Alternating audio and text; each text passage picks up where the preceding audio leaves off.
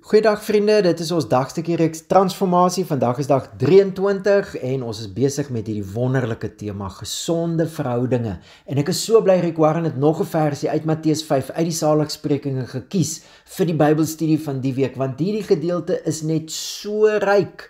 Die hele Matteus 5 tot 7, die bergpredikasie is so ryk aan betekenis en help ons op soveel vlakke en ek wil jou mooi vra, moenie dit net hoor as nuwe beginsels of nuwe reëls of nuwe lering wat Jesus kom gee nie. Dis nuwe verbond. Jesus seën hierdie mense en daarmee sê hy dit is nou God se volk die mense wat in hom glo en hy seën hulle sodat hulle nou die draers kan wees van God se lig, God se sout, God se koninkryk in hierdie wêreld.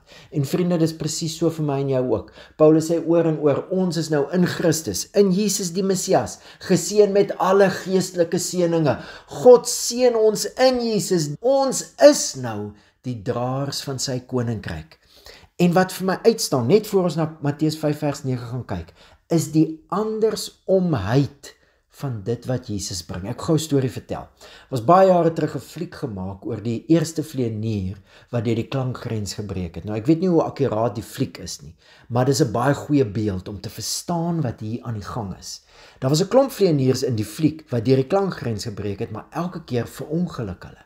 En hierdie spesifieke vleenier begin toe 'n teorie ontwikkel dat die oomblik wat jy deur die klankgrens breek, werk jou kontroles andersom.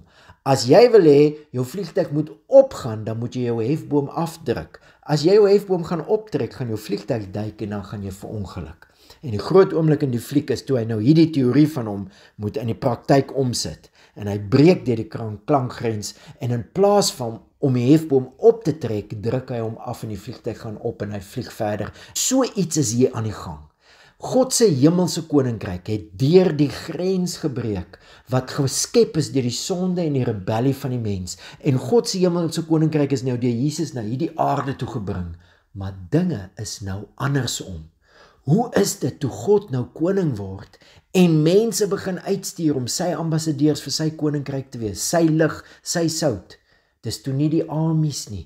Dis toe nie die bullies nie. Dis toe nie die magtige en die kragtiges en die mense met posisie nie. Nee, Jesus seën die mense wat arm van gees is, wat treur, wat honger en dors na geregtigheid, wat sagmoedig is, wat barmhartig is. Hy seën hulle en sê dis nou die ambassadeurs van God se koninkryk. En dan vandag se vers. Matteus 5 vers 9. Salig is die vredemakers want hulle sal kinders van God genoem word. Wees die mense, die kinders van God wat God se gesag in hierdie wêreld indra, die vredemakers. En hier kom ons by die hart uit. Hoekom was daar 'n ander Israel nodig, 'n nuwe volk vir die Here? Want die ou Israel wou nie vredemakers wees nie. Hulle wou oorlog maak. Hulle wou met geweld die Romeinse ryk omvergooi en hulle het gedink God is aan hulle kant.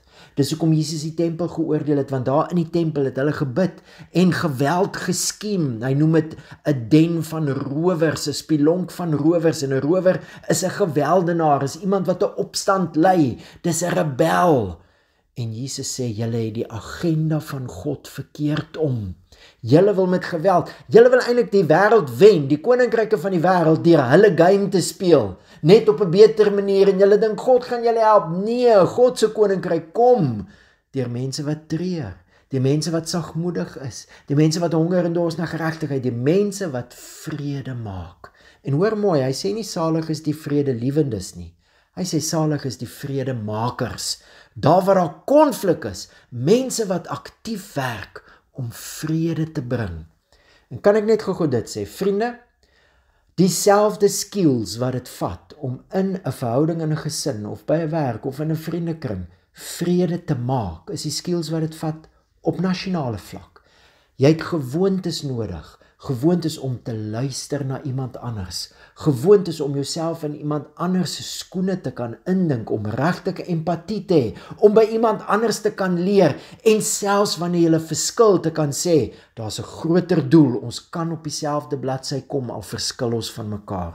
Daai gewoontes en nog meer is wat jy nodig het in 'n verhouding, in 'n gesin, in 'n werk, oral om vrede te bring, maar ek en jy gaan nooit besef hoe belangrik dit is as ons nie die prentjie het van dis hoe God se koninkryk kom. Ons is nou kinders van God in Christus.